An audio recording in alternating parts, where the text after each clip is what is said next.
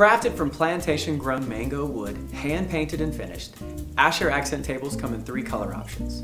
Dark red over black, rub through to natural wood grain. Black with heavy distressing, rub through to a natural wood grain. And finally, sea glass blue with honey-stained undertones.